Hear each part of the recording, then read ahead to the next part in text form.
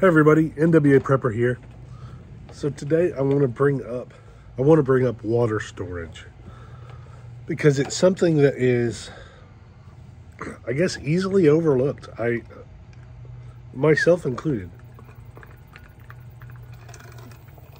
Sorry, I'm not feeling well, so I'm trying to stay hydrated.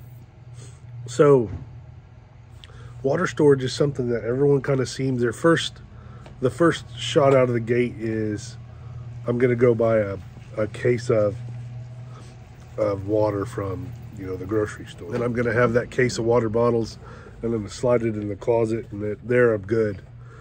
The problem with those containers is they're not made, they're not intended to be in that container forever, so that container degrades and gets fragile, and then as I have learned in my emergency pantry, and I had them stacked on top of each other the bottom case just over time all of a sudden one of the bottles failed and then another and another. And of course i didn't notice it for because i didn't go in there every day. So i didn't notice it for a long time. And then it ended up that i had half a case of busted water that had poured over the floor and it sat there and it ruined some things um, and caused you know caused damage to the flooring and all kinds of things and so since then i've learned that you need to store it is better. Now, I still have a couple cases of Sam's Club $3.50 for 40 bottles of water. We still have, holy cow, I bet there are three of those in constant rotation between my house, my truck, and my wife's vehicle. Never stops being rotated. We pick it up. It's not because we don't have regular reusable containers. We have tons of them. Uh, the convenience factor alone, and I'm, I'm just going to tell you that's what it is. It's convenient to have it, to throw it in a little cooler or a little box, and we do. And, and so we have those. We probably go through, I'm going to say in the summer, we probably go through one of those a month. And then in the winter, we probably go through two over the winter. And if we go to a barbecue or if we go camping or something, then we use the whole case. Uh, and that is in, in addition to other forms of water. So what I want to talk about is some ways that you can store water that you got to put some forethought into it. If all you can do is buy that case of water, fine, buy it. And the next time you buy one, take that, that other one and use it and rotate and keep those containers as fresh as you can um, that's hard to do. Things like this guy, and I got this. This is called the water brick, and it stacks. I mean, it's designed like a, a water Lego, a water container Lego. It's got the spigot in here.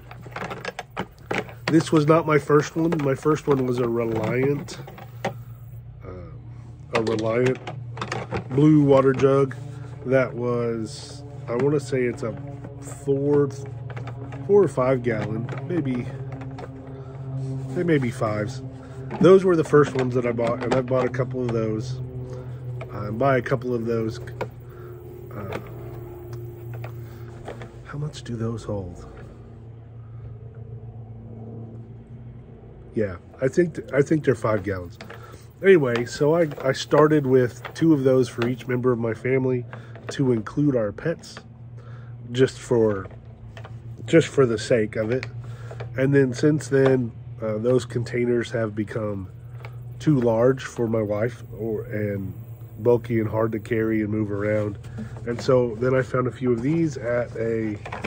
Um, I got these at a yard sale. I got these somewhere odd. And so I got five or six of these.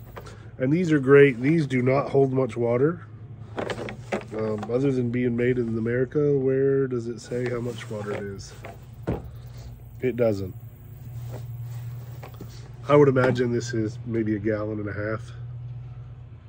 Maybe two gallons. Sorry, I don't know. I'll find out and I'll try to put it up. It'll be up here somewhere. So I had a couple of these and they're great for moving around the house or moving around where I need to move water a little bit at a time. Those Reliant ones from the big blue store great. And then I came across this bad boy. And this is a, a heavy duty uh, military water can. And, uh, and I got this guy in all its greatness from a place in Fort Smith called uh, Infinity Sports. It used to be A to Z Sports and they had them for like 20 bucks. And so I bought one. And this particular one has been in my truck for it. Well, it's been in my truck since I got a truck. So I've only had a truck about four years. And so I go through that water very regularly. I keep it full. I clean it out. It is what it today is, is today is last weekend or weekend before last was change my batteries in my clocks or my smoke alarms and my flashlights. Today is uh, sanitize and swap out my water containers. And so that is, believe it or not, that takes that takes some time um, because I dump it out. Uh, and depending, uh, my water, my garden rain catchment is not very full, or it was not. And so I took them out and I dumped them into my rain catchment which is just a 55 gallon drum right now. It's no nothing share worthy yet. It's coming, but it's not there yet. And uh, so I emptied that and that filled it up, and then the rest, I you know I put on the bushes or I've scattered around. I haven't dumped it down the drain. I paid for it. I don't want to put it down the drain. And uh, so I want to put it on plants, whether it's just my bushes or or uh, compost. I dump some in my compost pile to keep some moisture in that. And that a lot of people don't do that, but if it looks too dry when I turn it, then I spray a little water on it. Anyway, so today is time to sanitize and clean and sanitize those. And, and to do the things I even do is, like I will wipe these down with a, a gun oil cloth, anything that's metal. Um, most of them don't have metal, but these guys do, and I don't, I don't want that to break down or get rusted. You should do it too. And if all you can do is one gallons from the store right now, that's fine. But you need to have, and it depends on who you ask and what, you know, and what what you're preparing for and all this. You need to have a, a minimum, a bare minimum of a gallon a day. My preferred number is three gallons a day a gallon for cooking, a gallon for sanitation, and a gallon just because. Um, or for drinking, I mean. Uh, it's, uh, yeah, we just, we're a society that used to open the tap and there's water, and so that's going to be a hard thing to wean. And so my goal is three gallons of water per day. And in my home, this yellow and green building behind me. In there, there is 70. Oh my goodness. Hmm, let's see. A couple hundred? 250, 260 gallons uh, in the house. I don't have to go anywhere to get it. I don't have to go outside. That's not outside. Outside we have today another 55 gallons.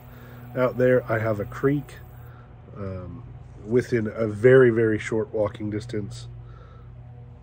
Uh, not that I want to haul water from the creek, but I but I can. I have containers that I can do that with. And, uh, but you need to be able to store water and and to do that it doesn't have to be frustrating. You can do what you can do today and work from there. So I know this video was long and I'm sorry, but I had a lot to say. So let me know about how you feel about water storage. You don't have to tell me all the, the things that you have or anything. I'll never ever ask that. But I'd certainly like to hear your input down below. Let's get ready.